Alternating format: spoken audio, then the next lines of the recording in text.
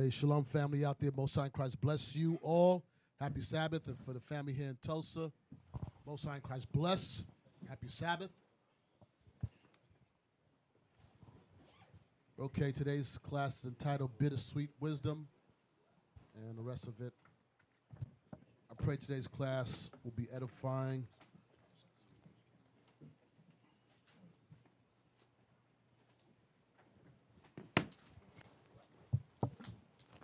Let's give thanks to Captain Gedaliah for the title the class. All right, let's um so for wisdom, um here's the thing with wisdom. We all want it, right? All right, with it comes great responsibility. With wisdom, it begins to reveal things to you that you understand, you start to get to understand the totality of what this Bible's talking about. And I could be honest with you, as you learn, a lot of it could be grim. it could seem grim at least. All right. So as you grow in understanding, it, it, it should it should mature you. As you grow in knowledge of God's will, it should mature you to understanding the severity of what we're taking on and the price we pay for getting wisdom. All right? Let's begin the book of Second Ezra.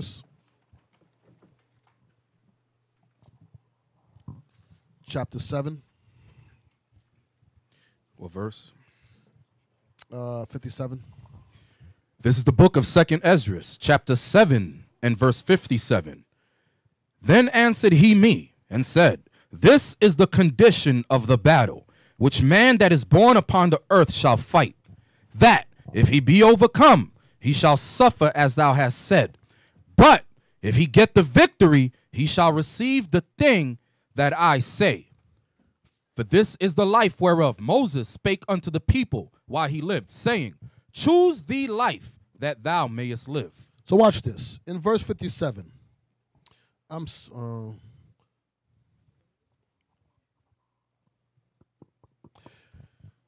Okay, do me a favor, uh, Cap. Start with verse 56. I'm gonna, I'm gonna read that real quick. Yes, sir. This is Second Ezra, chapter 7 and verse 56. For while we lived and committed iniquity, we considered not that we should begin to suffer for it after death. I don't know. That scripture always one of scripture that always rattles me.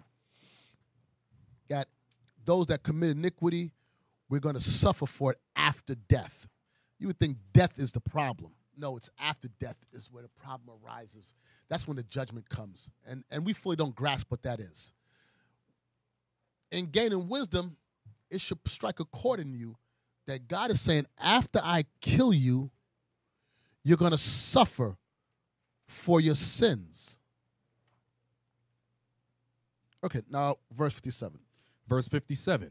Then answered he me and said, This is the condition of the battle. Okay, to obtain the kingdom, he's making clear there's a condition for the battle in front of you.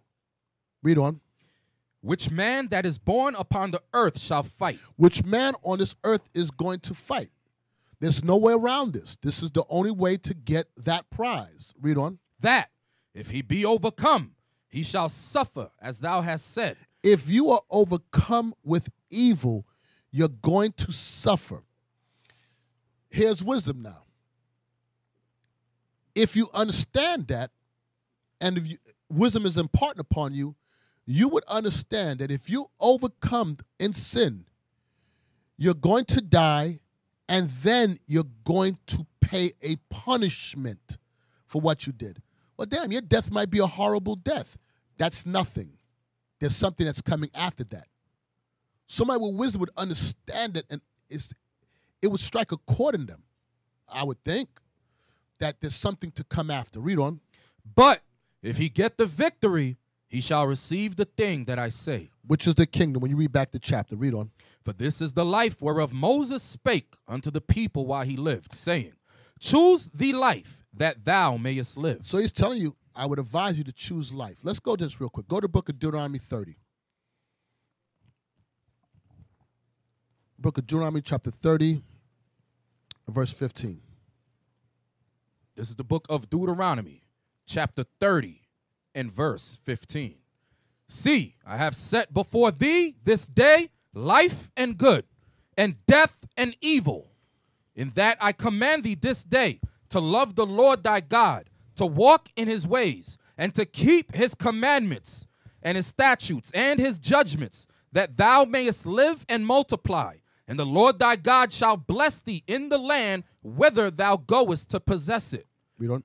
But if thine heart turn away, so that thou wilt not hear, but shall be drawn away and worship other gods and serve them, I denounce unto you this day that ye shall surely perish, and that ye shall not prolong your days upon the land, whither thou passest over Jordan to go to possess it. I call heaven and earth to record this day against you, that I have set before you life and death, blessing and cursing. Therefore choose life, that both thou and thy seed may live. So he said, I record this in heaven. Choose this day, life or death, that thou and thy seed may live. That again should strike a chord in you. Because he's like, okay, I die. He's saying that you and your seed can live. He's like, I will kill you, and the effects of that will affect your seed. Wisdom now, as you take it in this understanding,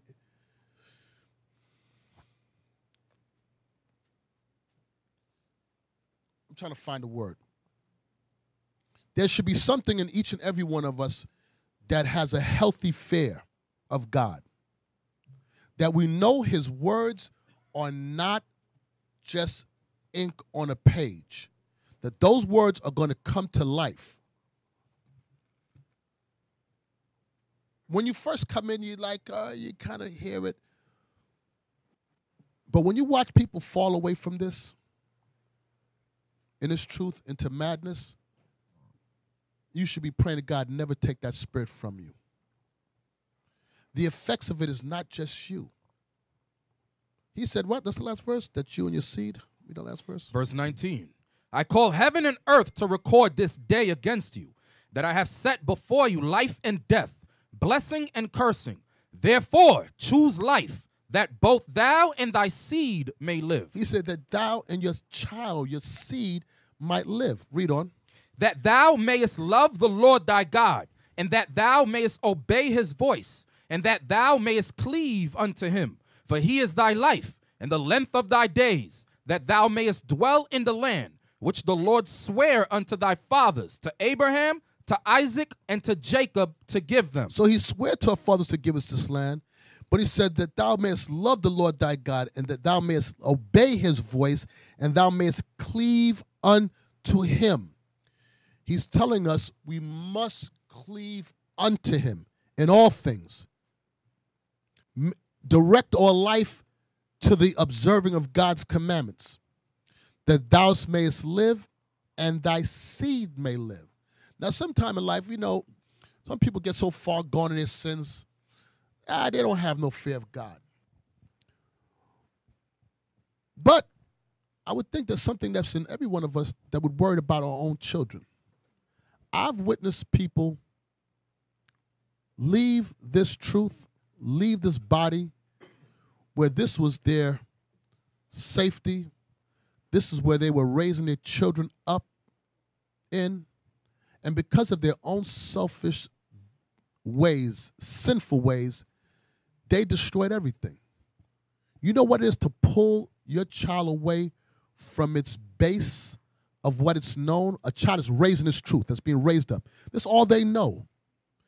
And because of your ways, you uproot them and tear away whatever foundation they had in relationships and friendships, your wives. He says, man, not only will I punish you, but I will punish your children. Now, here's the thing about wisdom. If you don't give a damn about yourself, you don't got wisdom. But if you don't give a damn about yourself, you would think you would think about how your actions will directly affect your children. These are the same people that came in and this word was sweet to them. They heard the word, oh yeah, give me that precept and this and that. And whatever struck in their life, whatever happened to them, whatever they wouldn't accept, the ramifications are going to be generational. So when you move it in wisdom, and you grow in wisdom, you start understanding your actions have ramifications that far exceed even you. Then the word's supposed to get bit in your stomach a little bit now. All that good those precepts, the color of Christ. Now you start getting a little more understanding. God said, listen, I'm not going to get you. I'm going to get your children. That don't strike a chord in anybody in here? Okay, good. All praises. So now when you go into real quick, 1 Corinthians 10. So the point I was talking about was uh, in it next is the cleaving unto him. 1 Corinthians 10. Because I think about that for myself. What would I want to see for my children? You know, uh, no tempt. Uh, 1 Corinthians uh, 10 13. This is the book of First Corinthians, chapter 10 and verse 13. There hath no temptation taken you, but such as is common to man. But God is faithful, who will not suffer you to be tempted above that ye are able, but will with the temptation also make a way to escape, that ye may be able to bear it. So remember, he's talking about, uh, read our next verse. Wherefore, my dearly beloved, Flee from idolatry. So remember we read earlier. Can you turn my mic? Yellow mic. Remember we read earlier in Deuteronomy, it says about them serving other gods, right? So here's the point. It said there's no temptation that is that is common to man. Here's the point. God always gives you a way to escape out of it. There's always some place in this trial you're going through that there's a way out. Sometimes it's with a class you hear. You hear something that's supposed to, if you have wisdom, it'll resonate to you and it'll strike something and you say, you know what? I got to rethink how I'm moving. Know, Lord, forgive me, I'm going to get my stuff together. Sometimes it's a conversation you have with a brother. And he'll say something to you that'll trigger you. There's oh, there's nothing that you can't go through that you don't realize there's always an out.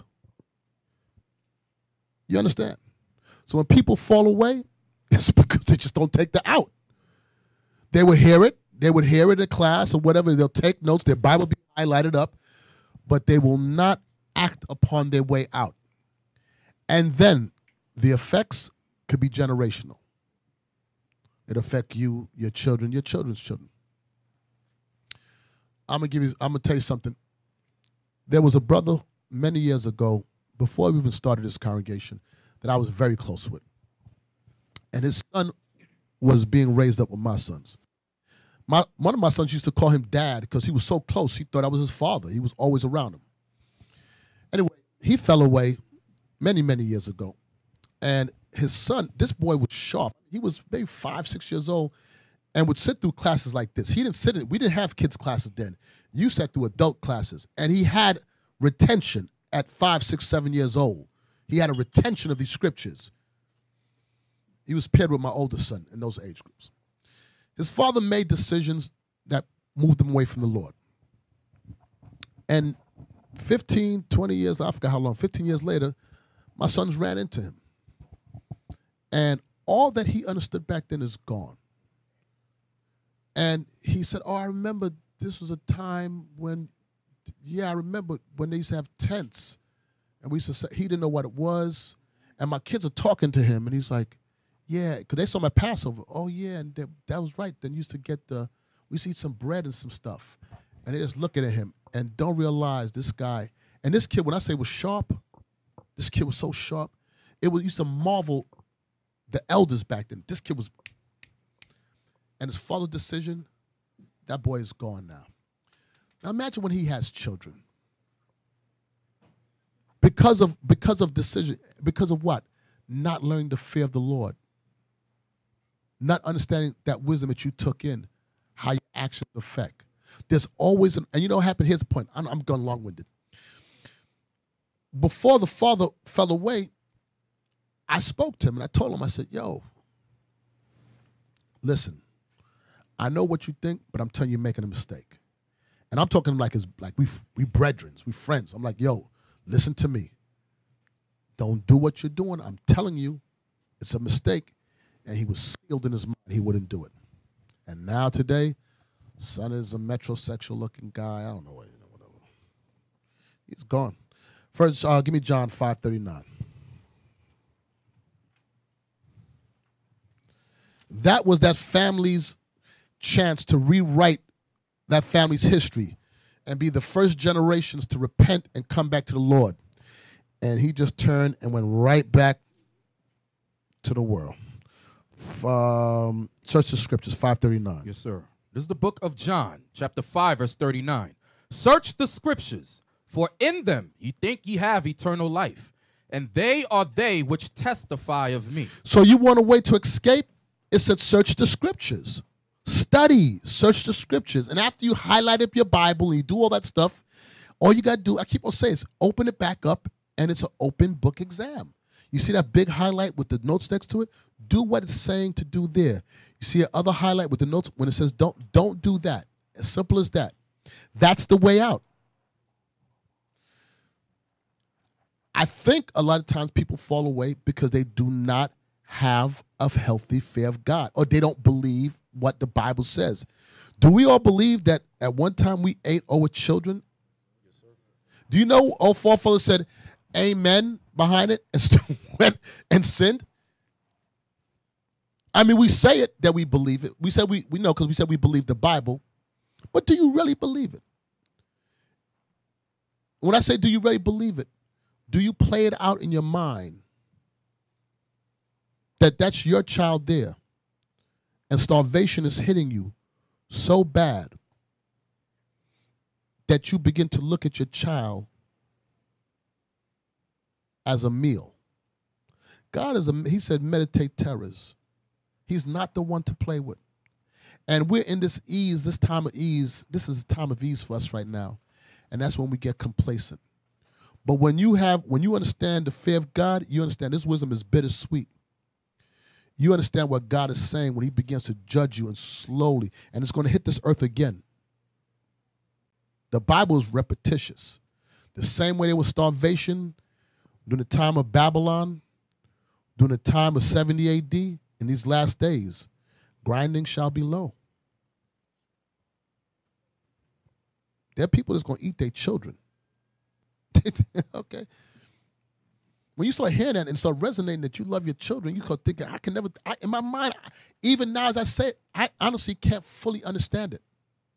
I know everybody said yes, but I fully can't understand it because I can't imagine looking at my child as a meal.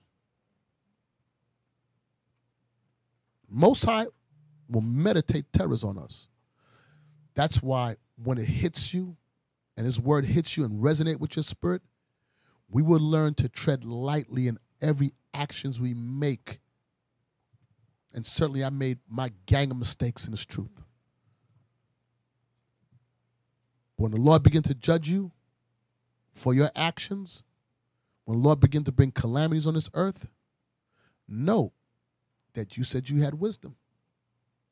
Should have been a fear of God in you. So he always makes a way out. Uh, give me um, um, uh, Timothy's 2 uh, 15.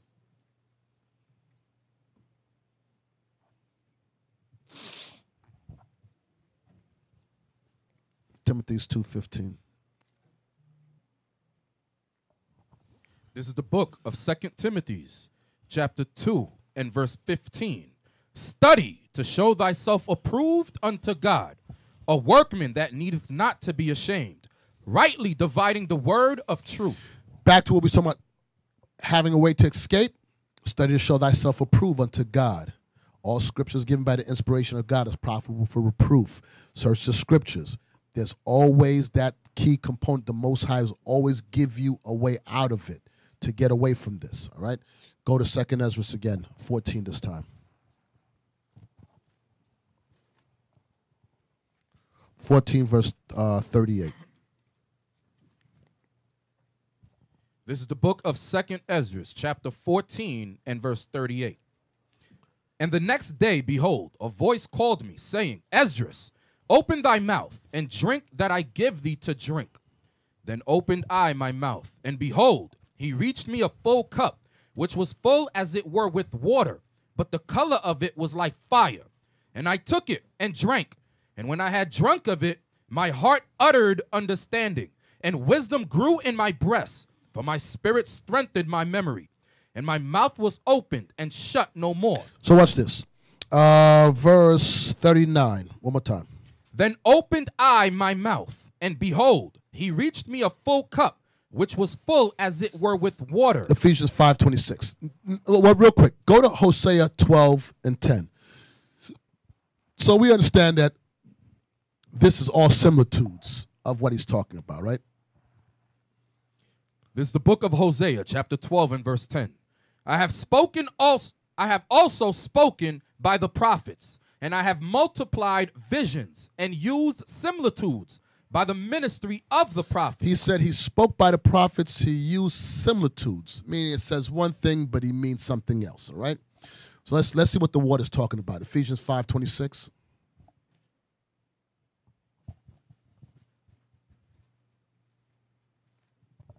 Ephesians chapter 5 verse 26 that he might sanctify and cleanse it with the washing of water by the word. So the washing of water by the word, or the water is the word that he's referring to. So when Ezra opened his mouth and he drank that water, that water was the word of God.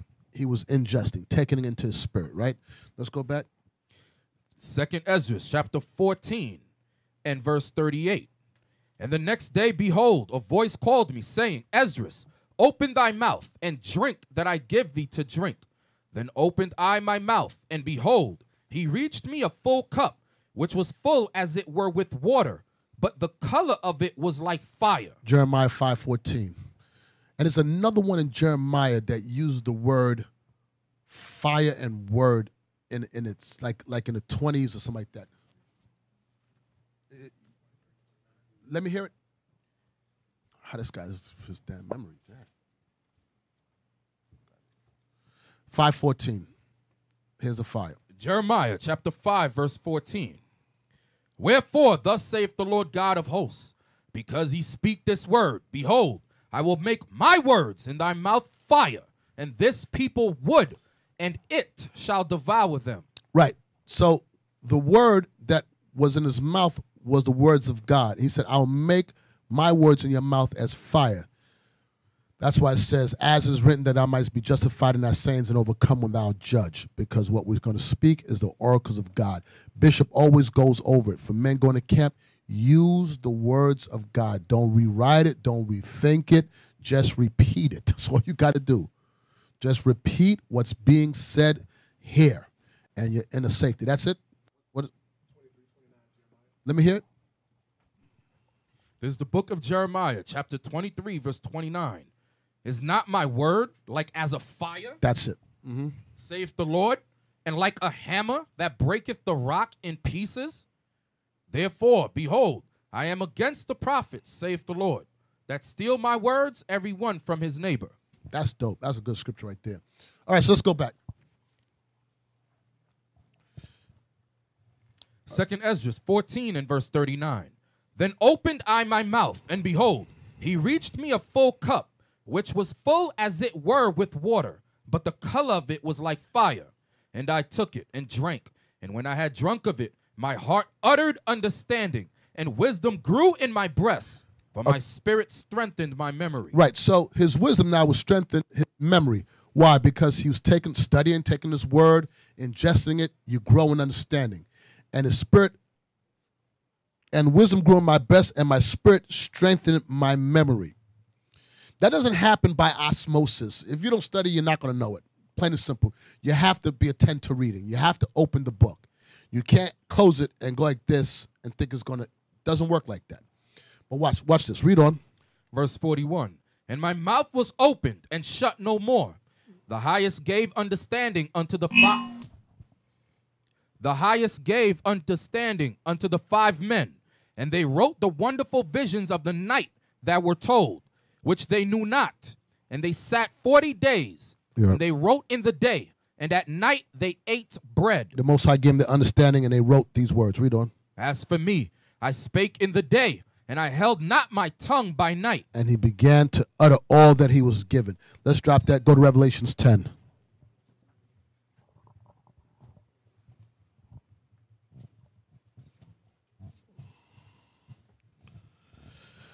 Revelations 10 and 9. This is the book of Revelations, chapter 10 and verse 9. And I went unto the angel and said unto him, Give me the little book. And he said unto me, Take it and eat it up, and it shall make thy belly bitter, but it shall be in thy mouth sweet as honey. Okay, so let's let's start now. So, what is it talking about? Who can explain? Who wants to give a shot? All right, let me have that young man back. Now, gi- give him give him the mic. So it's talking about uh, bishop and leadership, shalom. It's saying uh, when you first hear the, the word of God, it's sweet. You find out you're an Israelite, it's all smiles, you're happy. Um, but when you have to start applying, you know, the commandments, and, you know, changing changing your own ways, that's when it becomes bitter. How, how long you been in truth now? Uh, five months. Five months. What what was it that you heard that was sweet to your ear when you heard it? Just hearing the covenants and what's all the kingdom to come, the promises. Yeah, that was it for me. That was it for me. That we gonna rule over our enemies. Yes, sir. When I heard that, I'm like, okay, I'm sold. Cool. Where do I sign up for it? Right. Everybody had that thing, and it's right. Your answer's correct.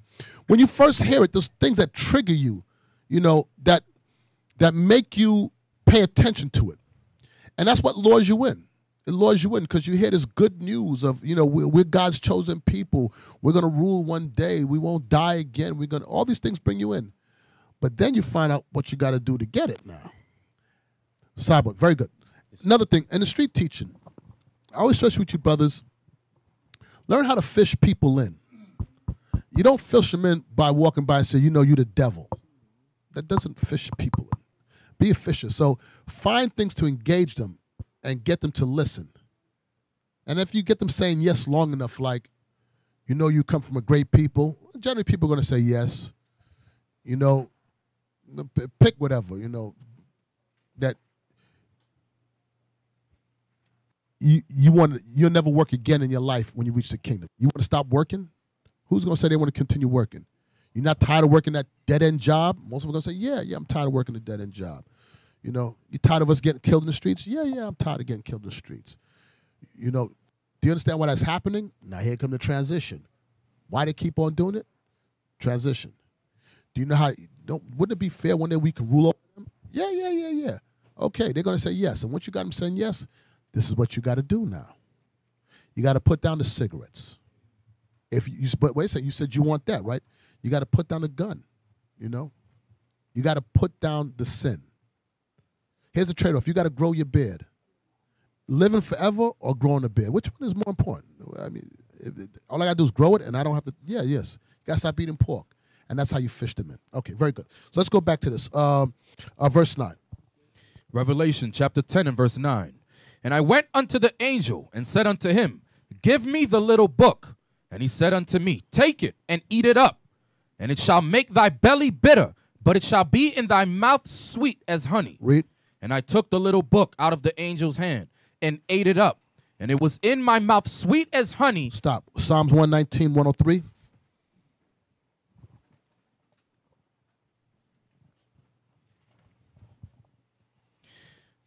It says, and it was in my mouth sweet as honey. Psalms 119 and verse 103. How sweet are thy words unto my taste, yea, sweeter than honey to my mouth. So that's what he was tasting. The word of God, it was sweet to him. Let's go back.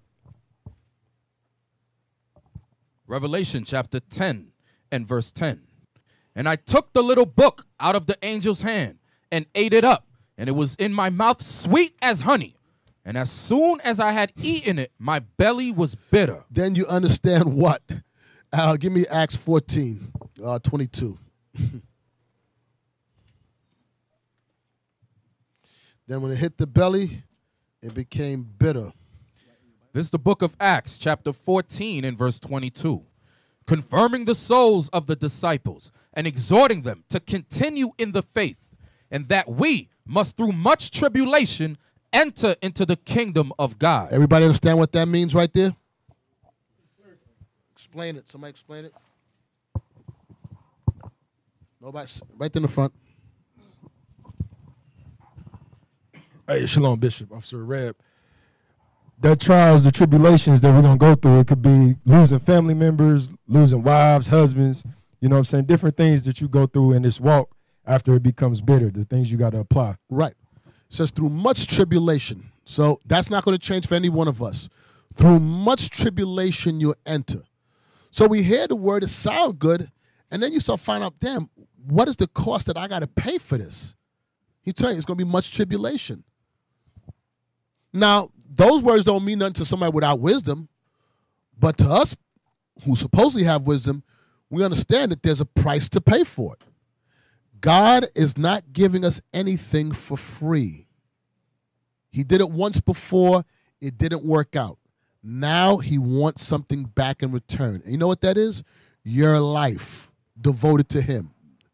Which he wanted at the first time, but we didn't do it. But this time we have to work for it now. So he's telling you to enter into the kingdom, it's going to be through much tribulation. How do we get around that? I'm in a Christian church, it's shake your neighbor's hand. And, and that, that's not, no, no, that's not going to work. Not with him. You think you could do whatever you want to do, and then at the end of it, you live forever, and you got a lamb and a lion for animals, and that's not. Come on, that's not reality. God is a God of equity and judgment. He's just. He's fair, but he want like all of us. Don't we want something back in return? Don't you want from your wife loyalty, obedience from your children, or are you going to accept less? And why would we accept God accept less? You think we could do whatever we want, be a hoe to every other God in the world, and come back to him? He said, He's going no, that's not how it works. God said, through much tribulation, you're going to get this. So it's sweet, and then it becomes bitter. Let's go back. Revelation chapter 10 and verse 10. And I took the little book out of the angel's hand and ate it up, and it was in my mouth sweet as honey. And as soon as I had eaten it, my belly was bitter. Verse 11 And he said unto me, Thou must prophesy again before many peoples and nations and tongues and kings. Let me read. Oh, that was the end of it? Yes, sir. Okay. And, it was, and his belly was bitter. And he said unto me, Thou must prophesy again before many peoples, nation, tongues, and kings. You know he's trying to tell him? Now that you got it, you understand. You're going to go up against these nations. You might have to lose your life for this. You think you're going to go up against a king and tell him that your kingdom is going to fall and another kingdom is going to rise and that's where it ends at? He's going to be all right with that? I always read that when I read about, excuse me, Moses. It always struck me when Moses went to Pharaoh and said the things he said. But it's the last one he says, listen, God said, go tell him his firstborn is going to die. And he went to Pharaoh and said, Listen, either free God's people or your firstborn is going to be killed. You think that was you you think you could just talk to him like that? You couldn't they'll cut your tongue before you finish your sentence. It take a special spirit for you to go up to a man and tell him your child is going to die, who's the heir to his kingdom. That's not no regular man. That ain't no regular man doing that. That's a man inspired of God. But imagine when, when God told him he had to go tell him, oh gosh, hey, Shalom, most high Christ bless, threw me off. Uh, imagine, in my mind, I'm thinking, when you, what you said, I gotta go tell him, no, you heard what I said. Go to him and tell him what I said right now. I'm gonna kill him. Okay. okay. Well, um, you know. So, so he says, you're gonna prophesy. Read the last verse, uh, Cap. Verse 11, Revelation chapter 10 and verse 11. And he said unto me, Thou must prophesy again before many peoples and nations and tongues and kings. Now watch this. Jump to back to Acts 5, 14. Acts chapter 14, verse 22. Confirming the souls of the disciples and exhorting them to continue in the faith, and that we must through much tribulation enter into the kingdom of God. Read on. And when they had ordained them elders in every church and had prayed with fasting, they commended them to the Lord on whom they believed. They commend them unto the Lord on whom they believe. Read on. And after they had passed throughout Pisidia, they came to Pamphylia. And when they had preached the word in Perga, they went down into Attalia, and thence sailed to Antioch, from whence they had been recommended to the grace of God for the work which they fulfilled. And when they were come and had gathered the church together, they rehearsed all that God had done with them and, that, and how he had opened the door of faith unto the Gentiles. And there they abode long time with the disciples. So after they set these elders in these churches, they went through uh, and Pamphylia and Pergia and Attalia and to Antioch. What do you think they were doing? 10 and 11.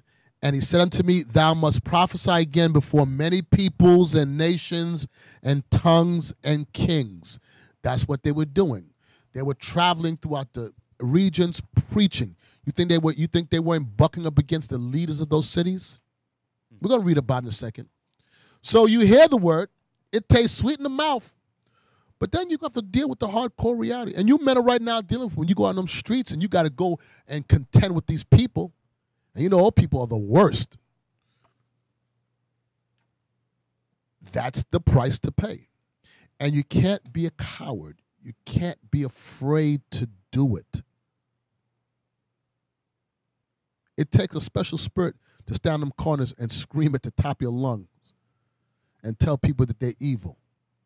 And I commend every one of you that put your work in out in those corners. You're a different type of spirit. Trust me. That's a different spirit on y'all. That ain't easy. And sisters, when those men walk through the doors, you should be on your feet, clapping and praising God that they made it home safely.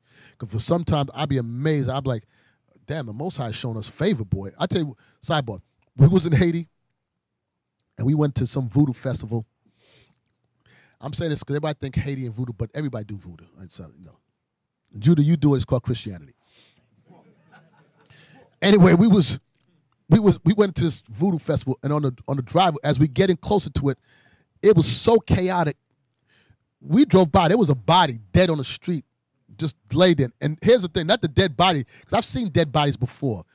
What struck me was everybody was nonchalant, like it was no big deal. And I'm like, "There's a body right there." Anyway, so we get down to the voodoo festival, and there's a pit you have to go into. That's the best way for me to explain it. So we're going down, Bishop. So we get down. It's like, okay, so now we're down in the middle of the vo- people half, people not naked. The people screaming. It was a, it was a sight to see. So we're trying to figure out where, where we're going to set up camp at. Like set up here, Bishop. No, right there. And I said, oh shit. Oh, excuse my language. Damn, I'm. I said, oh shoot.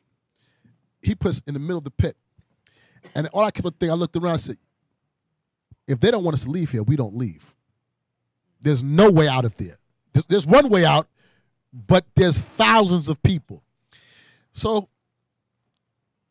they began to teach. And I forgot who it was. I don't know if it was Lab or Malachi. I said, okay, they're gonna churn these spirits. You know, Mar- you know, Lab know how to churn up them demons. And I saw seeing the demons start rising. Spirits start changing. I saw seeing dudes start getting aggressive. And I'm like, they will, this crowd, if they turn, that's it. Anyway, at the end of the day, Most High gave us the victory. We came out there unscathed, turned it up in there, and I kept on thinking, it takes special spirits to go down in these places to do this kind of work. You just don't have no idea. And I just named that. I didn't name Ghana. I'm telling you, I, Trinidad. I, I can't stand Trinidad. That's the worst camp I've ever. Not, I don't mean I don't mean you people, brothers there, but them people's ignorant as hell over there. But I tell you, we was driving through Ghana, and I'm telling you, we was in a bus with a security. This dude had one rusty six shooter, and I'm telling you, there's so many people in the street. When I say so many people that if the bus floored it, they would get stuck. They wouldn't be to drive over the people. If people want to turn the bus, they know where get they know where you're getting out of there. And I keep on saying we go to these countries and we teach these words, and and even in, in, in these states here, we see brothers cars getting shot at. Man, it is listen. Most High's put a spirit on you, men, to do this work. And that's the bitter part of it. You start realizing that every time you leave this door to do the work, your life is in jeopardy. So, sidebar for you sisters, you better praise God for the men that you have, for the brothers that you have in this truth. And every time they walk through that door, know the Most High gave us collectively a victory. All right? Okay, sidebar. Let's go back. Um uh, Mark 4.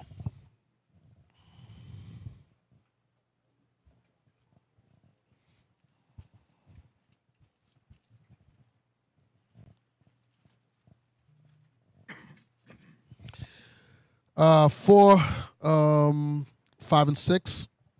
This is the book of Mark, chapter 4, and verse 5. And some fell on stony ground, where it had not much earth, and immediately it sprang up, because it had no depth of earth. Read on. But when the sun was up, it was scorched, and because it had no root, it withered away. Now here's the understanding of it. Jump down to verse 16. Verse 16. And these are they, likewise, which are sown on stony ground, who when they have heard the word, immediately receive it with gladness. It was honey to them. Oh, they received it with. That's how they are. People hear this word. Yeah, a lot of people hear this word. What you mean, the, the white man going to captivity? Yeah, yeah, we gonna ru- rule forever. Yeah. Listen, you gotta stop smoking weed. Ah man, but herb is from the ground. You know, it was on Solomon's tomb. Oh, come on, here we go. Listen, we was in we was in Cuba, and we was in the church teaching, and this this pastor was going for everything. He he accepted.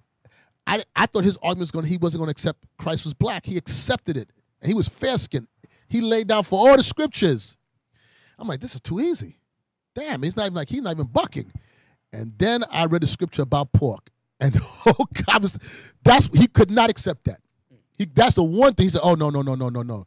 He's like all of a sudden he became a Bible scholar. Oh, give me first, give me First Timothy's four. You know, give me Mark's. I'm like, how the hell you know these scriptures? You didn't question nothing else.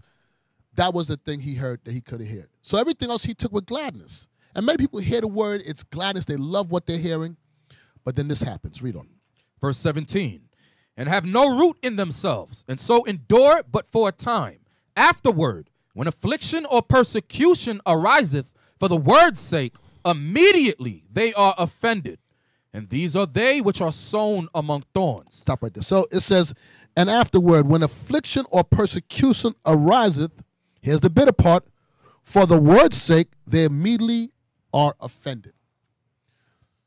We know through much tribulations. So we already established that. If you got wisdom, you understand through much, there's no way around it. So when persecution or affliction comes, you should not be offended. You should understand this is the price to pay. You want wisdom, you take all of it. You take the sweet and the bitter. You're going to get both doses of it. Watch this. Uh, persecutions. Um, let's do an oath. Let's go Jeremiah. Jeremiah 28 and 8.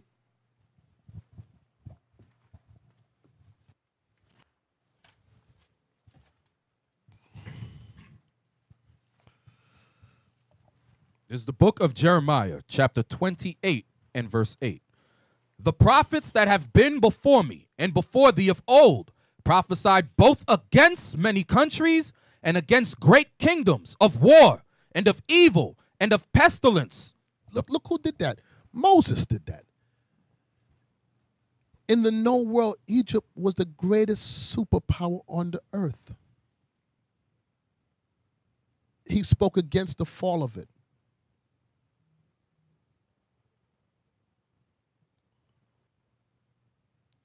In history, we read about John the Baptist. He spoke against Herod, the Maccabees. Isaiah, Paul, all the apostles. This is the job. Do you know that's what you men are doing today, right now? You're speaking, you're speaking the words of God to the demise of this kingdom. You are you are bringing to life these scriptures what the prophets did. Now wait a second. Jeremiah did that, right? Read that verse again. Jeremiah 28 and verse 8. The prophets that have been before me and before thee of old prophesied both against many countries and against great kingdoms of war and of evil and of pestilence. And what did I get Jeremiah for doing that? Go to Jeremiah 32. This is what he got for that. Jeremiah 32, 1 and 2. The book of Jeremiah, chapter 32 and verse 1. The word that came to Jeremiah from the Lord in the tenth year of Zedekiah, king of Judah, which was the eighteenth year of Nebuchadnezzar. For then the king of Babylon's army besieged Jerusalem, and Jeremiah the prophet was shut up in the court of the prison, which was in the king of Judah's house. So he was thrown in prison for prophesying against it. He prophesied against uh, uh, Israel, and it earned him prison. Now, I don't know anybody here that think prison is a blessing. And listen, didn't it say he was put in a pit? Yeah, he was lowered down into a pit. His prison wasn't like this. His prison was a pit. It was. I'll get to that later. But they put him in a pit. Now that's a prison for you. That's for doing God's work. That's that bitter for doing the work of, for doing the work of the Most High. Read on. Verse 3 For Zedekiah, king of Judah, had shut him up, saying, Wherefore dost thou prophesy and say, Thus saith the Lord, Behold, I will give this city into the hand of the king of Babylon, and he shall take it. And Zedekiah, king of Judah, shall not escape out of the hand of the Chaldeans, but shall surely be delivered into the hand of the king of Babylon, and shall speak with him mouth to mouth, and his eyes shall behold his eyes. And he shall lead Zedekiah to Babylon, and there shall he be until I visit him, saith the Lord. Though ye fight with the Chaldeans, ye shall not prosper. They didn't want to hear Jeremiah mouth. He told him, "Listen, Zedekiah, you're gonna see the king. You're gonna see the king of Babylon face to face. Meaning, your army will not be able to withstand him. That he's gonna witness you and see you face to face, and you're going to fall to him." This is a man who's standing in his kingdom with his armies, his men. And here comes Jeremiah said, You know you're going to die, right? You know you're going to be carried away as a slave. And the man that's going to do it is going to come meet you right here in your land and look at you in your face and take you away. He's like, Oh, this Jeremiah guy. This guy's too much. Throw, this guy into jail. Nobody wants to hear what you got to say. Here come the bad news guy. Okay, you could do that, but it ain't gonna change. But Jeremiah was charged with that job. That was his job to do. That's what he was called to do. In my mind, what I try to play in my mind is him saying that to him, and then knowing, okay, this ain't gonna this ain't gonna end good. Like I'm not going home tonight after after I said this no, try to imagine Zedekiah's face, the anger in his face. Like, yo, grab this dude. But you know one thing? He didn't kill him. He was afraid of him. he was afraid. He was afraid that yeah, throw him in jail. But in my mind, I'm thinking, man, you know, you sit in the bottom of pit. You, you, you, think you think it was a you think it was a AC down there? You think it was nice? It's a dirt pit. I never I never seen a pit that that's dug in the ground. They just they just decorate it and make it comfortable for you. They drop you down there and you sitting in a dark hole. Don't it say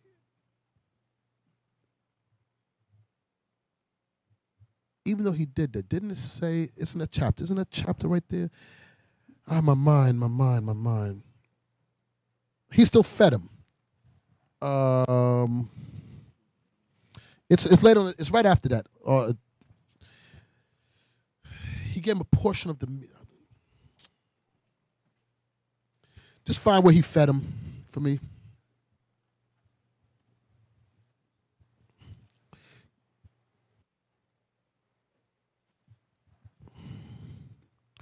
Thirty-seven, verse twenty-one. Yeah, 37, 21. Jeremiah chapter 37, verse 21. Then Zedekiah the king commanded that they should commit Jeremiah into the court of the prison, and that they should give him daily a piece of bread out of the baker's street. Now, I'm going to tell you what's so important about that. Remember, they were going through a famine. Nebuchadnezzar besieged Jerusalem now. So the little food they had, you know, the, the common people weren't eating. They were starving to death. The king had a little piece or whatever, but he made sure you feed Jeremiah. The Most High made sure his prophets were always taken care of. And all that destruction was going on, he put his spirit on the king to make sure you feed Jeremiah. After Jeremiah prophesied against him, God put the spirit on him to make sure Jeremiah was taken care of. I know that strikes me that the most that's why the most High says in Isaiah 66, my servants shall eat, my servants shall drink, even when destruction is coming, I'm gonna put the spirit to make sure they're taken care of. Now watch this. Let's let's read about that pit. Jump to chapter 38, uh, verse 5. Jeremiah chapter 38, verse 5. Then Zedekiah the king said, Behold, he is in your hand. for the king is not he that can do anything against you. Then took they Jeremiah and cast him into the dungeon of Malchiah, the son of Hammelech, that was in the court of the prison. And they let down Jeremiah with cords. So this little watch. Now he went to he went from the king's prison court to another man's prison court, and they let him down with a rope. Read on. and in the dungeon there was no water, but mire. So Jeremiah sunk in the mire. You know what? The, you know what mire is? Look up the word mire real quick. I want you to understand. Who wants Jeremiah's life? You so you want to be Jeremiah? Yeah, you all want to be him. You all signed up for it. We all did At a young age. at a young age. Look at this: a stretch or swampy or bogged down ground. Now, give me synonyms or what's a Uh, situation difficult. No, I don't want that. I want sink, stuck in the mud, dirt, soil, muddy. Okay, yes, all right, Smith. In the bottom, there was no water down there. It was mud. What else you think was down there in mud? Feces, pee. You what do you think? Uh, listen, uh, uh, hello, I, I, I gotta use, the, I gotta use the bathroom. You think that's what? That's what he signed up for. You know that's what you all signed up for. Do you all understand that's what you signed up for? If you're uncertain, say you're uncertain. But do you know it? That repenting and coming to this truth and breaking a bread into that, that you signed up to possibly live through these things? Yeah, go ahead. Feel free. a, a quick a glimpse of that, right? The Most High showed us a glimpse of that when we have brothers when we go to Africa. We're not using just regular toilets, especially outside. You had one brother in particular. He had to use. He literally had to use a leaf. He had to use a leaf to wipe his butt. Yeah, man. So we, the Most High is gonna put us through it. All right. It's not. He's gonna make us uncomfortable, and we're gonna get comfortable when we get the kingdom. we, the most High gonna turn it up on us. We right now we here in American Trust we comfortable. We li- we live a cushy life in this truth right now. You go to these other countries, boy, and reality come rushing in. And for you sisters that is like you know are unhappy or think things are worse, go over to Ghana. Trust me, there's no Starbucks there. Go to Haiti. I get you. Trust me, reality come rushing in real quick. You will worship your Lord and pray he bring you back to United States of Babylon. Over there, life ain't oh gosh. You won't be thinking about no makeup. You won't be thinking about no nails, nah. Nah. Those some hardback women there. There's some hardback women. We are even us here, we suppose many of you men wouldn't want to be over there. Trust me. There's a whole different. Their reality is a whole different reality. You take them and put them in a in a in a, in Maya. They're like, oh, thank you. This is an upgrade. I gotta say this. Um, we went to where was it? Sierra Leone. It was Sierra Leone. So uh, some of the brothers came back after camp, and we let them, you know, come come take a shower. 'Cause some of those brothers showering is a luxury. One brother said, "I feel like the white man." He literally said that. Yeah, he said, "I feel I feel like the white man," just because he took a shower. And I heard I heard Sherlin was bad there. I didn't make that trip, but I heard the conditions over there. Yeah, Liberia they have like turd on Oh, the no, that's beach. what I meant. Liberia. Yeah. Mm, mm, mm, mm. So what did it say? Uh, verse six one more time, then we're gonna move on. Jeremiah 38 and verse 6. Then they took they Jeremiah and cast him into the dungeon of Malchiah, the son of Hammelech, that was in the court of the prison. And they let down Jeremiah with cords. And in the dungeon there was no water, but mire. So Jeremiah sunk in the mire. Damn, I tell you, boy. I tell you how my mind work when I read stuff like that. I'm telling you something. Um, my mind paints this picture, and I could. My I'm just like, damn. Watch this, Jeremiah one.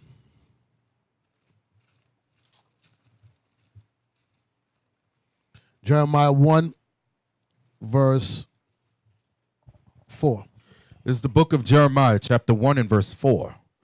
Then the word of the Lord came unto me, saying, Before I formed thee in the belly, I knew thee, and before thou camest forth out of the out of the womb, I sanctified thee, and I ordained thee a prophet unto the nations. Then said I, Our Lord God, behold, I cannot speak, for I am a child. Here come the excuses. God said, I ordained you before you were born. And that's each and every one of us. Before we were born, we were ordained to be. None of us are here by chance.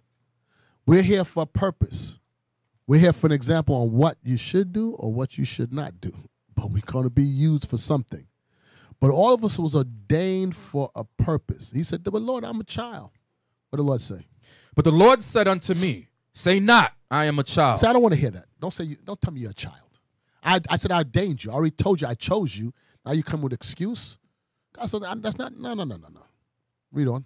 For thou shalt go to all that I shall send thee, and whatsoever I command thee, thou shalt speak.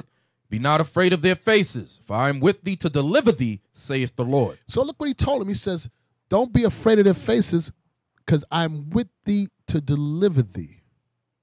Don't worry, it's going to be okay. I'm going to deliver you out of this situation. Now, delivering don't mean you're not going to die. Don't misunderstand. People think, no, that's not the case. But Lord said, I'm with thee because I chose thee. Read on. Verse 9 Then the Lord put forth his hand and touched my mouth. And the Lord said unto me, Behold, I have put my words in thy mouth. See, I have this day set thee over the nations and over the kingdoms to root out and to pull down and to destroy and to throw down, to build and to plant. So he said, See, I set thee these days over the kingdoms to root out, to pull down, to destroy, to throw down, to build, and to plant. Think about the time Jeremiah, I think we went over this a few weeks ago. Think about the time Jeremiah was in. By this time, Babylon was done encroaching on them. Babylon was already uh, inhabiting where we would known as Northern Kingdom by that time. So they was on our heels. He said, Jeremiah, I set thee to be over the nations. That's us today. To root up, to pull down, to destroy, and to what's the last point it says? And to plant, and to reestablish back up God's will. To root out, to pull down, you're going to get resistance. We just read that. Jeremiah went into a pit. There's going to be resistance.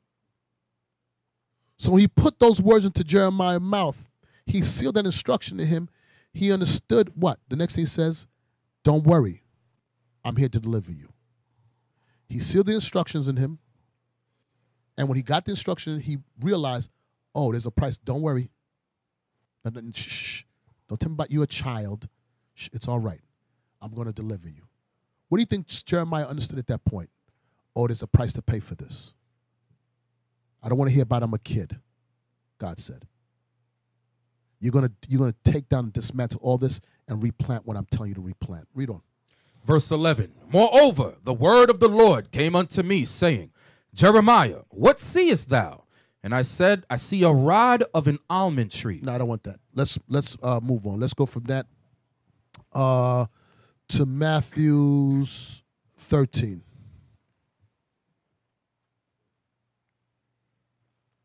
Matthew's 13, 54. This is the book of Matthew, chapter 13 and verse 54. And when he was come into his own country, he taught them in their synagogue, insomuch that they were astonished and said, Whence hath this man wisdom and these mighty works? Is not this the carpenter's son? Is not his mother called Mary, and his brother James and Joseph, and Simon and Judas? And his sisters, are they not all with us? Whence then hath this man all these things?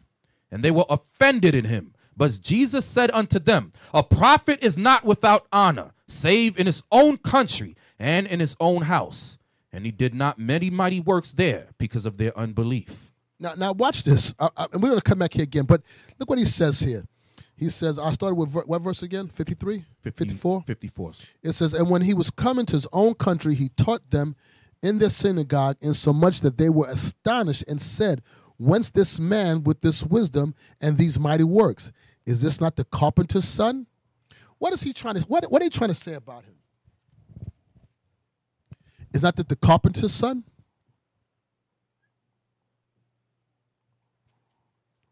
They're trying to say he's a boy. That's, What's name's son? Who's he? Who's this guy?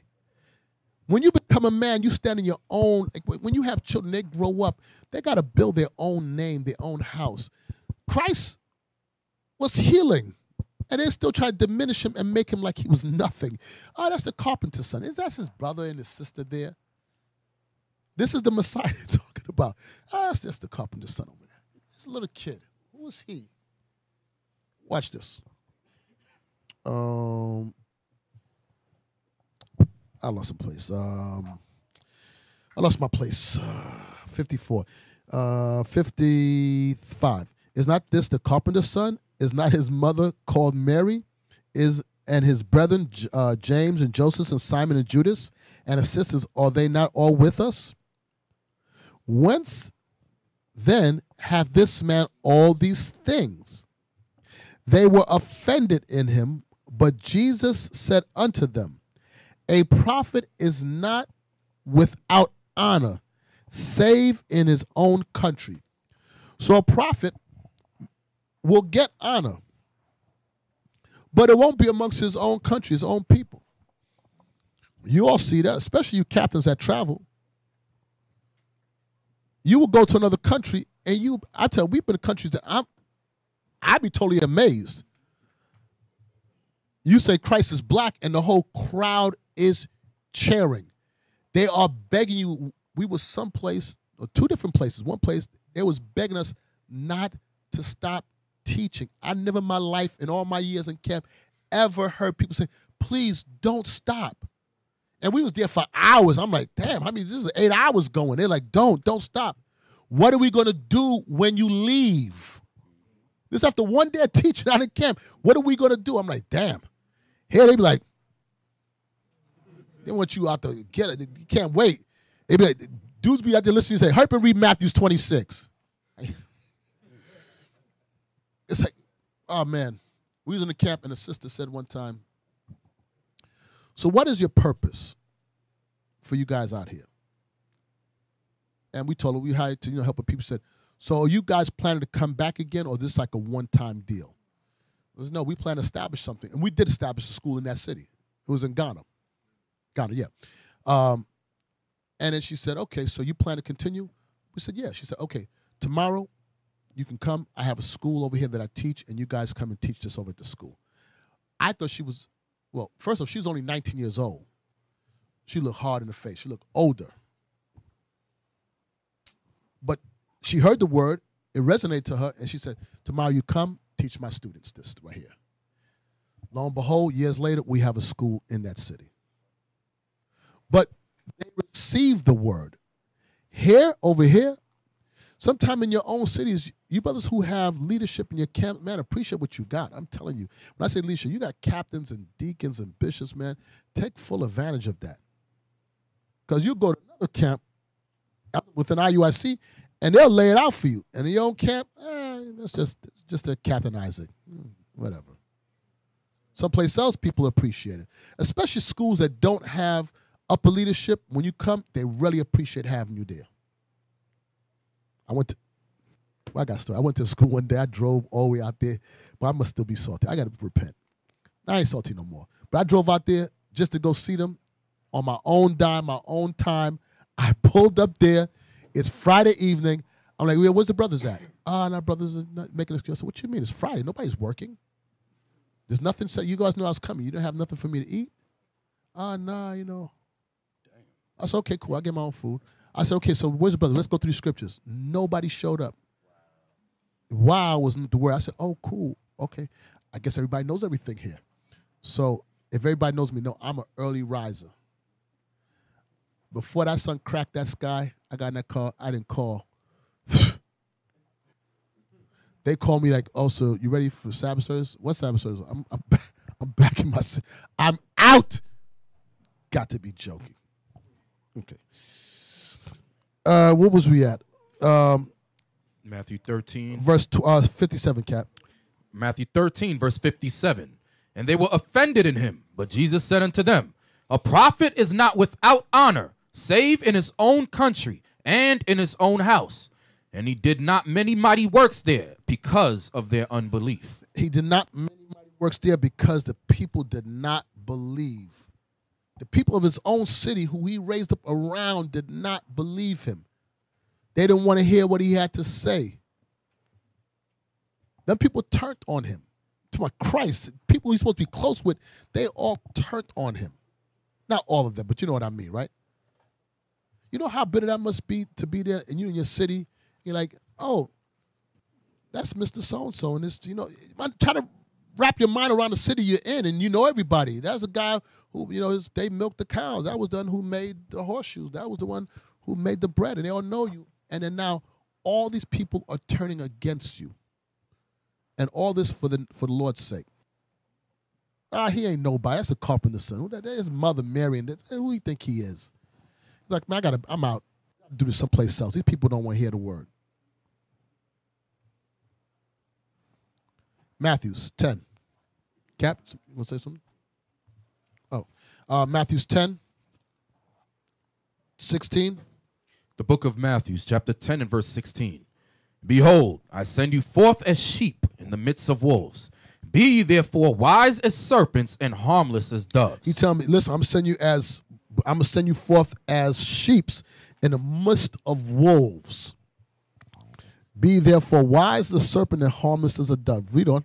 But beware of men, for they will deliver you up to the councils, and they will scourge you in their synagogues. And ye shall be brought before governors and kings for my sake, for testimony against them and the Gentiles. But when they deliver you up, take no thought how or what ye shall speak, for it shall be given you in that same hour what ye shall speak. So try to again, I'm telling you, wrap your mind around it. Christ is talking to the apostles. He says, Listen, I'm gonna send you a sheep before these wolves. Automatically, my thought process, wolves, their teeth are sharp. They come and tear stuff up. He says, and you better be wise as serpents and harmless as doves. Know how to navigate and how to deal with them, how to speak, when to speak, how to agree with your adversary. These are thoughts that go through my mind. Now, on the receiving end, he's telling them that, and they're like, yo, so you're telling me you send me out there to get tore up? Yeah, that's what I mean. I'm sending you out there, and these men are going to try to devour you. They're going to beat you. They're going to throw you in prison. Do you understand that? This is the price you pay for the wisdom that I gave you. It was sweet at first, right? But now here's the bitter part of it. Read verse 1. Verse 20? No, verse 1, 10 and 1. Verse 1. Matthew 10, verse 1. And when, and when he had called unto him his twelve disciples, he gave them power against unclean spirits to cast them out and to heal all manner of sickness and all manner of disease. Verse 7. And as ye go, preach, saying, The kingdom of heaven is at hand. So, what do you think he was doing? What do you think he was doing? Well, these apostles. You think the Herodians didn't hear them? You think you think uh, uh, uh, the the um, Pharisees, Sadducees didn't hear him preaching this word? He said, I'm sending you as sheep out in the midst of wolves. You're going to go in the streets today. You're going to be out front of police, FBI, CIA, gang members, the, the, the sodomite crews, the, the church. And we got to operate different. We can't be carnal and move on their levels. We're the sheep, and those are the wolves out there. And get ready, they're going to beat you. What's what verse you stopped at before? Um, uh, verse 21? Verse 21. What, that, what did we stop before? Was it 21 or 20? Oh. No, start with verse 19. Verse 19. But when they deliver you up, take no thought how or what ye shall speak, for it shall be given you in that same hour what ye shall speak. Read on. For it is not ye that speak, but the Spirit of your Father which speaketh in you. Read. And the brother shall deliver up the brother to death, and the father the child, and the children shall rise up against their parents and cause them to be put to death. Imagine, de- imagine Christ tell you this. Listen, your family gonna turn on you, some of you, and cause some of you to be put to death. I keep on saying we read it like it's words on a page. But when you got wisdom and you know these words are real, it become bitter. You start thinking about, yo, you telling me that there's a possibility my mother turn on me, my father turn on me, my child will turn on me and cause me to be put to death? Yeah, that's what I said. All right, guys. So you go out there and do the work now, like I just told you. yeah. Yeah, I read this stuff sometimes. I'm like, yo, Christ was not playing with them. All right. Yeah. So I'm trying. I'm trying to picture myself saying, okay, so we got the plan. Uh, yeah, you go now. I'm like, yeah, go. Now, yeah, go and preach this gospel in all nations and take everything that's coming to you. Mm, mm, mm. Read on. Verse 22. And ye shall be hated of all men for my name's sake. Wasn't Christ hated? He didn't get no honors. I tell you, they hated him in the city. We read like like uh that's a carpenter's son. They hated him in his own town where he came and rested his head down at. The people in the city hated him. He was like, damn, you can't get honor in your own city. Miss Gertrude, I know you. Shut up, nigga. Not Miss Gertrude. Miss Gertrude Israel. She hate, he was hated the same way. He said, and you're going to be hated. Indeed, you're going to drink of my cup. That's why Christ said, I didn't have a place to put my fox have holes and birds have nests. He had no safe dwelling place where he was at. This is the price of wisdom. And you learn this, and guess what? It's going to get turned up. Read on. And ye shall be hated of all men for my name's sake. Damn. But he that endureth to the end shall be saved. You're going to be hated. Everybody going to hate you. Everybody's not going to like you. Everybody's going to hate your guts for this truth. But if you can endure, the kingdom is yours. Again, it's words on the page. But when you live in it and everybody, all your family, your friends, everybody hates you. They may not openly say it, but they'll if they have a chance to to to uh to undermine what you're doing, they'll do it. That's why he said, jump to verse 36. And a man's foes shall be they of his own household. That's why he said in the same chapter, a man's foes shall be they of his own household.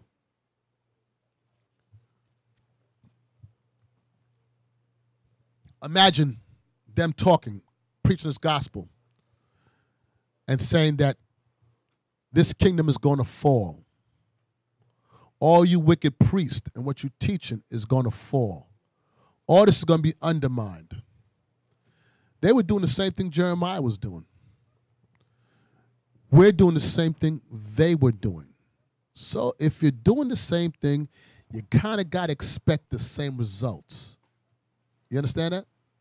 Hold this. Go back to Jeremiah. Jeremiah 1 one more time.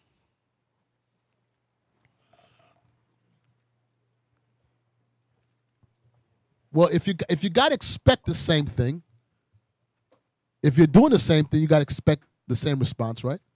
Then you then do this. Verse 17. Jeremiah chapter 1 verse 17.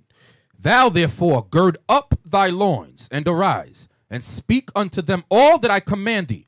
Be not dismayed at their faces, lest I confound thee before them. And here's the thing now. He said, listen, you better not be dismayed before their faces, lest I confound thee. You better not be moving scary because Christ said, God said, if you act like you scared, that means you don't believe. You're unconfident. You're not, you're not confident in what he's saying. He said, and at that point, I'm gonna back up off of you. And you're on your own. So if you're gonna do this, you better do this with that intensity. So your brothers on the street, you better not be in the street and be too late now. You better just speak the word with fire. You know something about black people. I had to catch myself. I was say, I was say a word I can't say. They smell female dog in you. N- Negroes can smell that. If they sense a little weakness in your little shifty eye looking down, not firm in your tone of your voice, they will swallow you in these streets. Not that you got to be a nigga, but you better know, you better meet that intensity with the word of God with confidence, because show them a little bit of weakness, a nigga will run you off of that corner. And I don't care what city you give me in America, if there's niggas there, they will run off that corner. They got to see something in you that's different than these other dudes. Okay, that's being said. Let's read on. Verse 18. Yeah. For behold, I have made thee this day a defense city, and an iron pillar and brazen wall against the whole land, against the kings of Judah against the princes thereof, against the priests thereof, and against the people of the land.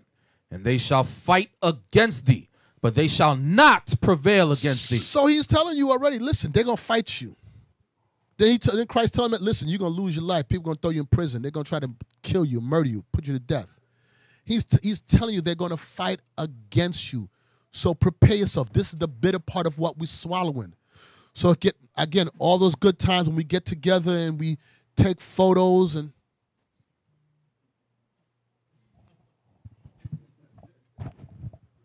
I said, okay, let's see if you ready. Let's see if you can keep that energy. let's see. Let's see when it pop off. Or are you running and leaving everybody behind? Ah, you, you gone. You down the street. You go.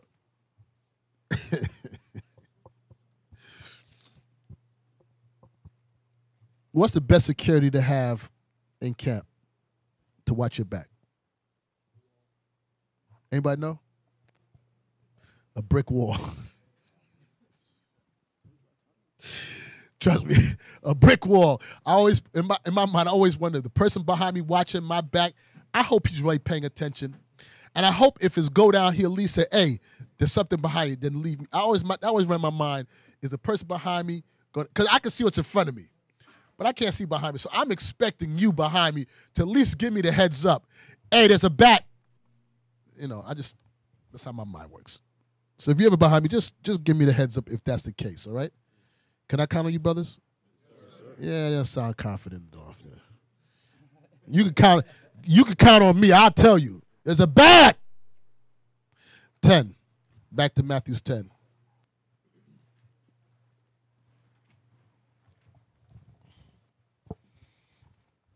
Verse 36. No, what I want this. What, what was in Matthew's ten that I was thinking again?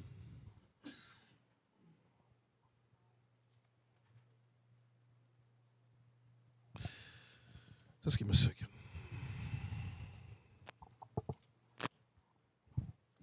Just bear with me. I'm sorry, Matthew 16.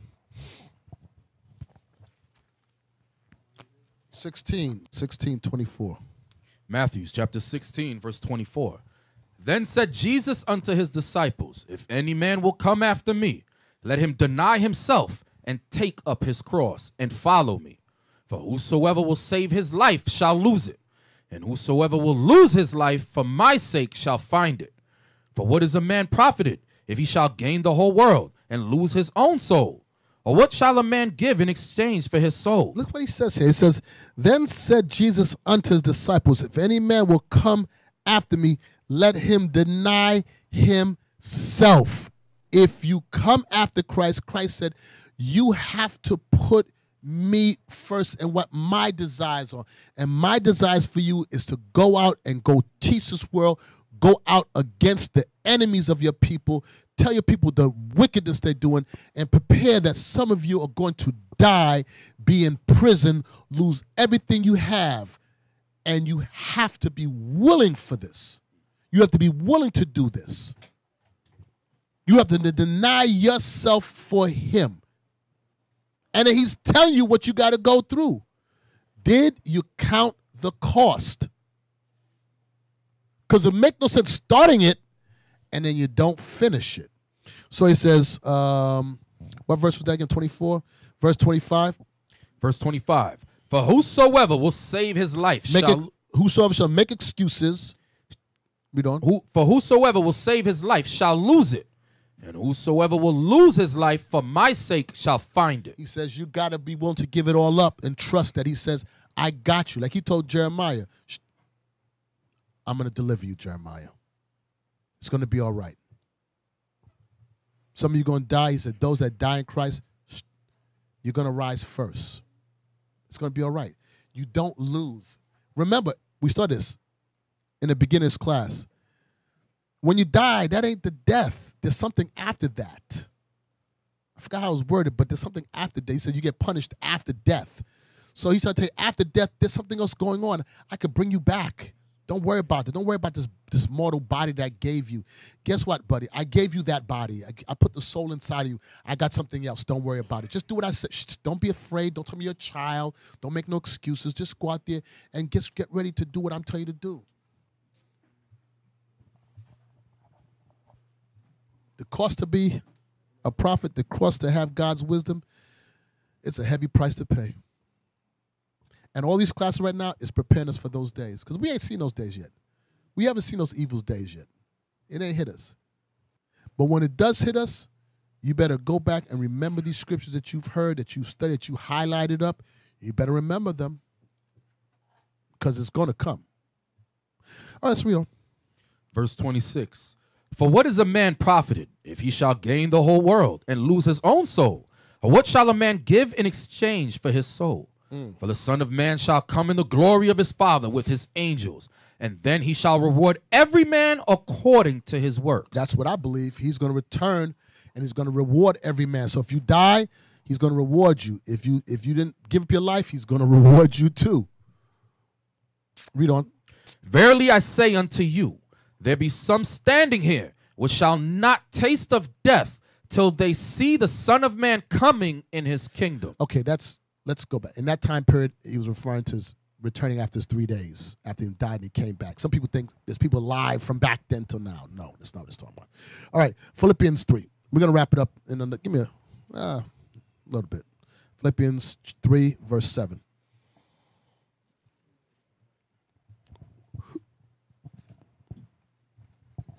Lose your life. Deny yourself. Three and three seven. The book of Philippians, chapter 3, and verse 7. But what things were gained to me, those I counted loss for Christ. He doubtless, and I count all things but loss for the excellency of the knowledge of Christ Jesus my Lord. Oh, for the excellency of the knowledge of Christ Jesus, for the excellency for the knowledge of Christ Jesus is his wisdom. And for his wisdom, he count everything lost. It's one or the other.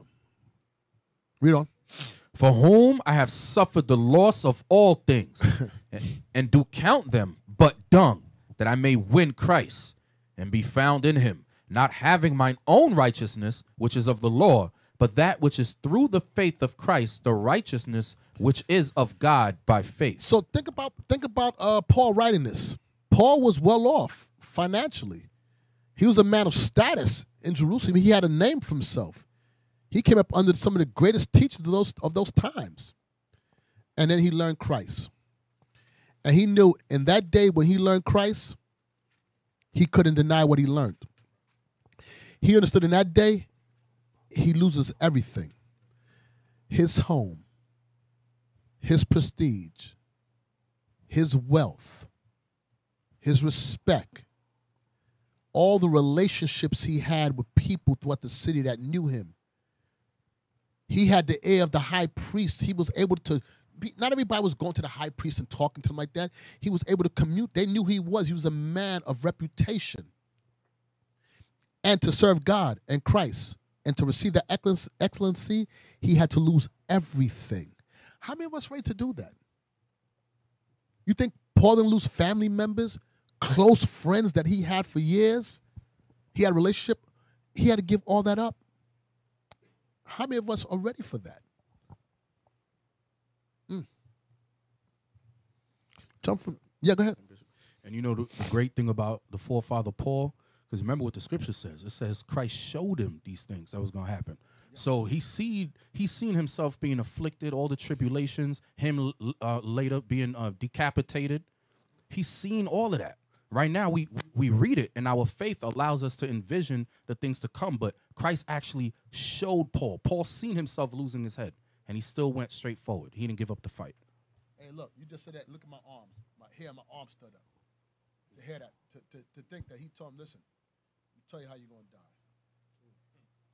None of us have experienced that yet to say we being told. But he told, listen, what's going to happen to you? And Paul's like, I, I kind of joy. He's like, I, he said, I'm ready. I'm ready. Only reason I'm still here because I still got a job to do, but I've been ready to go. What was Paul? What was he? Oh, this man, he's a superhero. That's my superhero. These all four four these men were larger than life. You're telling me you're gonna be bound and go to Jerusalem. You're gonna go to your death. Yeah, just hurry up. Uh, yeah, that's mine. Yeah, I know. Let's get this thing going. no, no, no, no. I, I know, I know, I know, I know. Just, just, let's, let's, let's get to it. Um, Corinthians 11, 2 Corinthians 11. Watch this. 23. Listen to Paul. 2 Corinthians 11, verse 23. Are they ministers of Christ? I speak as a fool. I am more. In labors, more abundant. He said, in labors, more abundant. Listen, I need two readers on this because I want to do this quick.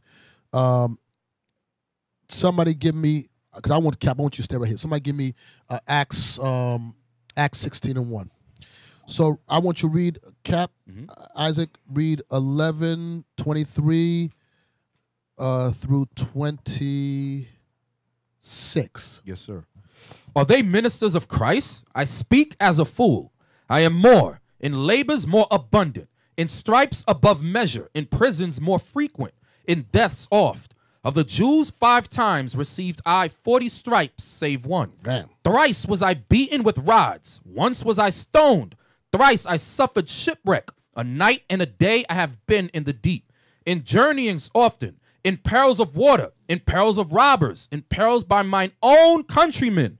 In perils by the heathen. In perils in the city. In perils in the wilderness. In perils in the sea. In perils amongst false brethren Read on, read on. In weariness and painfulness, in watchings often, in hunger and in thirst, in fastings often, in cold and nakedness, beside those things that are without, that which cometh upon me daily, the care of all the churches.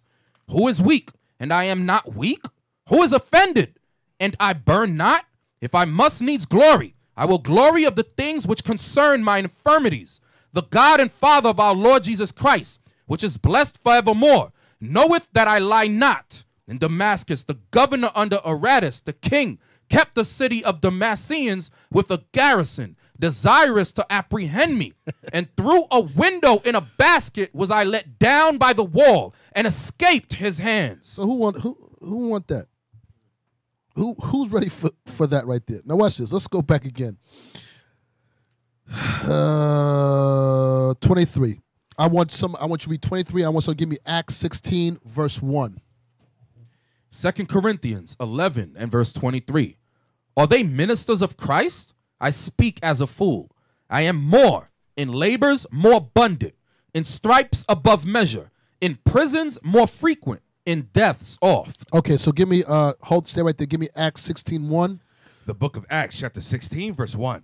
Then came he to Derbe and Lystra, and behold, a certain disciple was there, named Timotheus, the son of a certain woman, which was a Jewess, and believed. But his father was a Greek. Jump to verse four.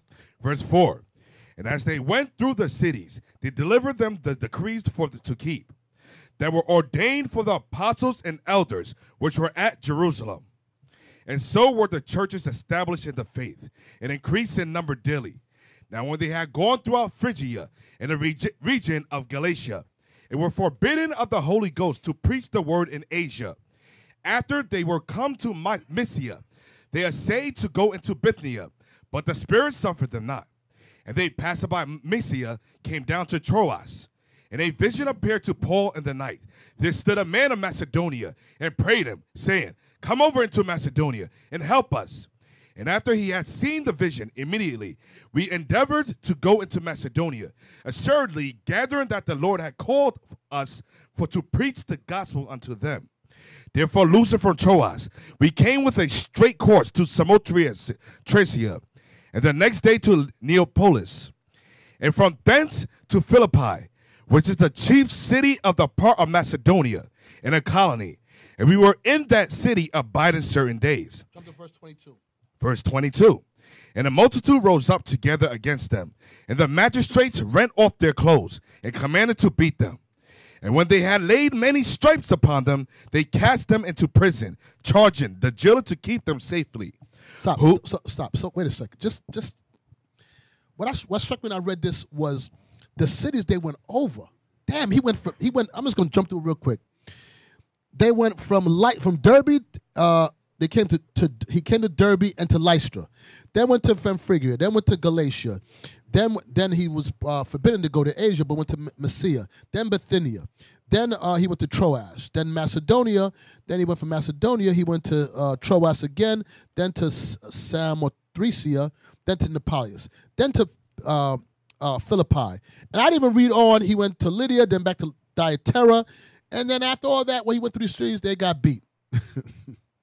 Let's go back to Corinthians 11, verse 24. 20, 20 oh prisons um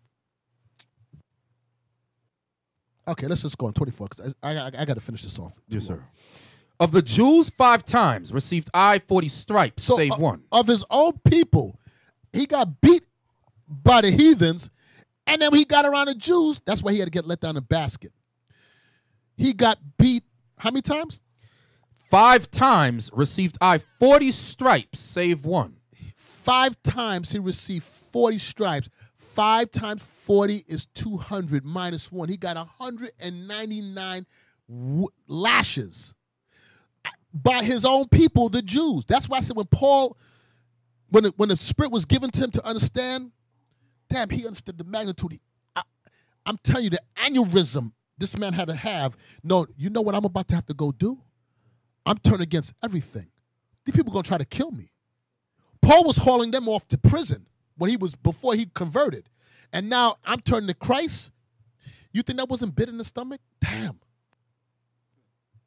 I can't go back to Jerusalem like that. You think Paul's walking through Jerusalem freely? They're letting this man down in baskets, hiding him. They wanted to kill this man. All those old relationships was all done, finished. Wasn't going back to that stuff. That's the count, that's the price you gotta pay. You better count the cost when you say you believe this stuff. So you're traveling through these cities, doing the work. Okay, and then you get beat in the city. You get thrown in prison. Then I come back to the Jews and I got to get 199 beatings from them. Paul didn't have no. Paul was, but that's the price he had to pay for the stuff he did too. So that's something else. But you understand the point. Mm, mm, mm, mm. Let's go back to um, Second Corinthians 11, verse 26. Oh, no, no, uh, 25. Thrice was I beaten with rods. Once was I stoned. Thrice I suffered shipwreck. A night and a day I have been in the deep. Damn, suffered shipwreck, Acts 27. And we just read that uh, about the beatings in uh, Acts 16. Acts 27, uh, verse 41 to 44.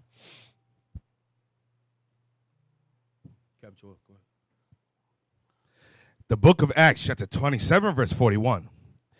And falling into a place where two seas met, they ran the ship around, aground, and the forepart stuck fast. It remained unmovable, but the hinder part was broken with the violence of the waves.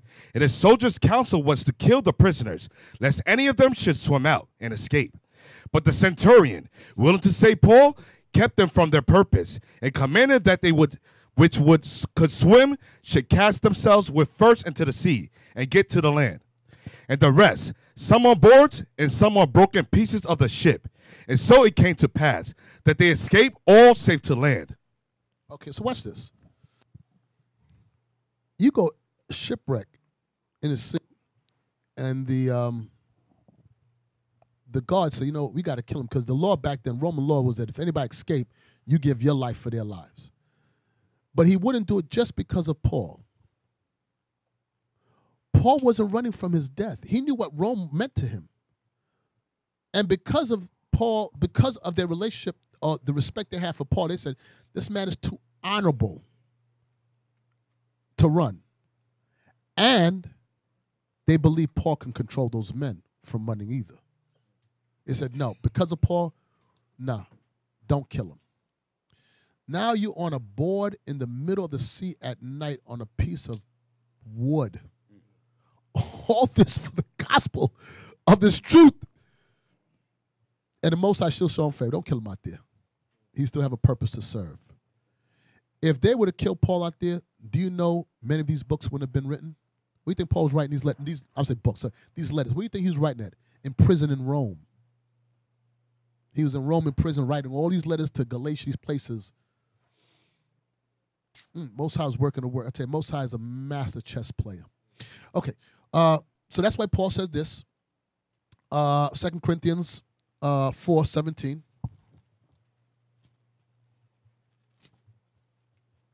Second Corinthians chapter 4 and verse 17.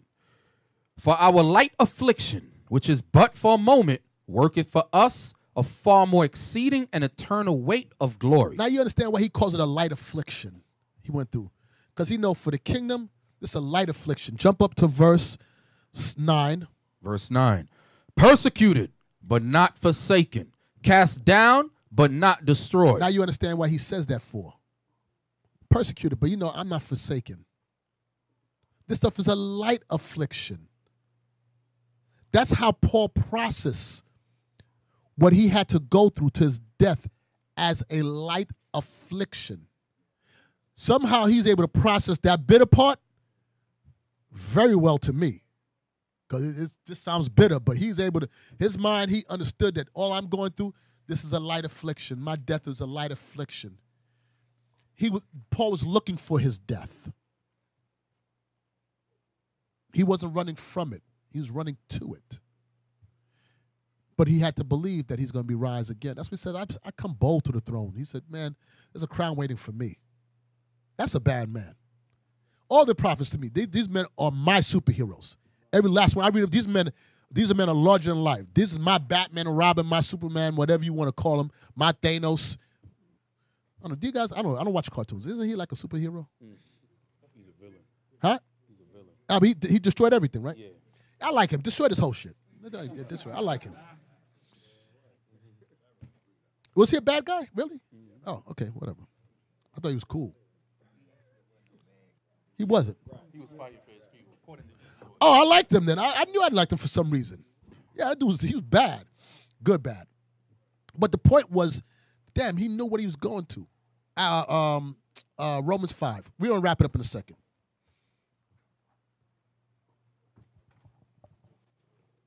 Five, five and three. The book of Romans, chapter 5 and verse 3. And not only so, but we glory in tribulations also. So now you understand, right? So not only so, we glory in tribulation. So when tribulation comes, we're supposed to be glorying in it. God sees that I'm fit. He believes enough in me that I can handle this. That's why he chose me. He chose me because he knows that I can endure this. Mm. So we glory in tribulations, read on. knowing that tribulation worketh patience, and patience experience, and experience hope. It's just an exercise to build your faith.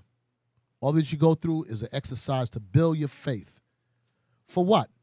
For a greater trial. Little bit here, and once you conquer that, I got some little more for you to deal with, right? A little bit more. That's what he did with Paul. Ah, you lose everything. Ah, you're gonna get beaten over here. Ah, you get beaten by the Jews. Ah, you're gonna be cast in prison. All that's prepared him. It's time for you to die. By that time, Paul, I've been through so much, man, whatever. My faith is strong. I have faith. I'm going to get the kingdom. Henceforth, there's a crown laying for me. Oh, so bitter it is. So, watch this Acts 10. Okay, who's been here under five years? Okay, under 10 years. Okay. Do you know something? Watch this. Luke, give me Luke 10, verse 2.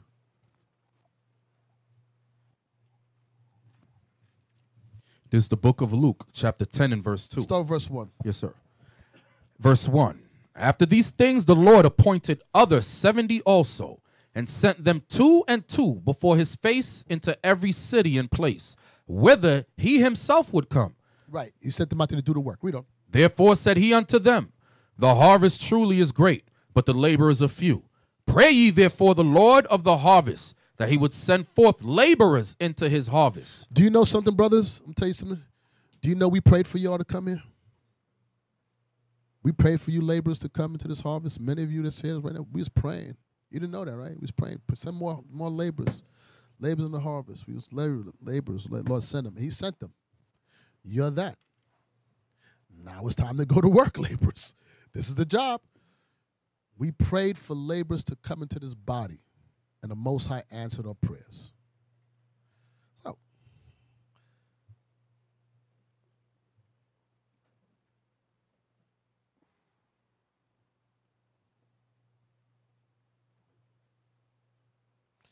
so now that you call into this harvest, right? Watch this. One chapter back, chapter 9. I want you to read the last verse. This is Luke chapter 9 and verse 62. And Jesus said unto him, No man having put no man having put his hand to the plow and looking back is fit for the kingdom of God. Okay, we prayed for you and God sent y'all. So you the laborers that's pushing this plow. If you look back now, you're not fit for the kingdom. You understand that, right? There's no turning back. It's not this, that's it. We prayed for you, God sent you. That means you approved of God. You're going to take everything that comes along with this, good and bad. But if you put your hand to that plow and you decide you want to look back and you don't want to lose your life for his sake, you don't deny yourself, count everything as done, then mm, you ain't fit for the kingdom. Shouldn't have prayed for you. Too late now. You're in it. A Couple more scriptures. I'm done. Watch this. Judges. I mean, you know, I, I'll end it on this one. Judges five. So we wanted to come out. We we came out of Egypt, right? And we wandered in the wilderness for all those years, 40 years. You don't think we was tired of wandering? We make it to the promised land. We're here now. Let me get judges with you. I'm not even with you.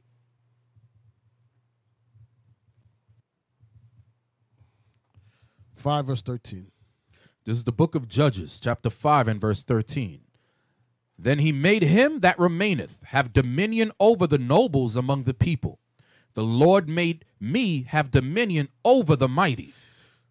So th- now this, I'm, I'm gonna step this, this this scenario. This is um, uh, Deborah and Barak when we was in the land fighting, dealing with the heathens. Watch this. We're trying to take, we're trying to take, encroach on the land and take our place that God has given us. Right? Take back the land. Read on. Verse 14 Out of Ephraim was there a root of them against Amalek. After thee, Benjamin among thy people. Out of Machir came down governors, and out of Zebulun they that handled the pen of the writer. And the princes of Issachar were with Deborah, even Issachar, and also Barak. He was sent on foot into the valley. For the divisions of Reuben there were great thoughts of heart. You understand what's being said right now? Anybody understand what's being said? Who doesn't understand by show of hands? Okay, let's go back. Okay, let's start with verse um, 14. Out of Ephraim was there a root of them against Amalek. So out of the tribe of Ephraim came up a root of Ephraim that fought against Amalek. Read on. after thee. Benjamin among thy people. Out of Machir came down governors, and out of Zebulun they that handle the pen of the writer. So out of Benjamin and Zebulun came men, and Zebulun they were recorders. They recorded the wars that was going on. Read on. And the princes of Issachar were with Deborah, even Issachar, and also Barak. He was sent on foot into the valley. And these were the footmen that went into the valley to fight. Read on. For the divisions of Reuben there were great thoughts of heart. But in Reuben there was div- there was division and thoughts of heart. They were unsure what they should do. Double-minded. Read on. Why abodest thou among the, sh- the sheepfolds? To hear the bleatings of the flocks? While we out the war, they saying, Reuben, why you sitting amongst the sheepfolds? You had you you you tend to the sheep. You understand the price you had to pay to get the land was you had to go take it and kill everybody on it. Now, hell, you ain't ain't no time for the sheep. We go out to war, and brothers like, oh, you know, I'm gonna stay back in the kids' room. Oh gosh, are you, are you serious? get him a head covering. Friggin' I was going to war, and you, and you friggin' twiddling your thumbs. Ah, sing me a. You know what? That's a brother you have. Sing me a song and dance for me when we come back from war. Give me some wine. We finish war. Just dance. Do one of those those shuffles you guys do, or whatever you do. Sing. You friggin'. Oh gosh. Oh. Lord, Lord, don't ever give me that spirit. Hate to hear people talking about war and you ain't been in the war. You remember that war? Ah, oh, no, I didn't make that one. You remember that war? Oh, I wasn't at the war. You remember that? Oh, you just go be at the Titus 2 meetings. Read on. Uh, Read that verse again. Verse 16 Why abodest thou among the sheepfolds to hear the bleatings of the flocks? For the divisions of Reuben there were great searchings of heart. Oh, read on. Gilead abode beyond Jordan. And why did Dan remain in ships? Dan didn't even get off the ships. They stayed back on land. These two stayed on land. Yeah, boy, read on. Asher continued on the sea, shore and abode in his breeches. Asher got off them boats and got on that shore and got in the breaches to the war. Read on. Zebulon and Naphtali were people that jeoparded their lives unto the death in the high places of the field. And Zebulon and Naphtali, they jeopard their lives for this truth. So I'm going to end it on this scripture right now. Give me um, Acts 14, 28.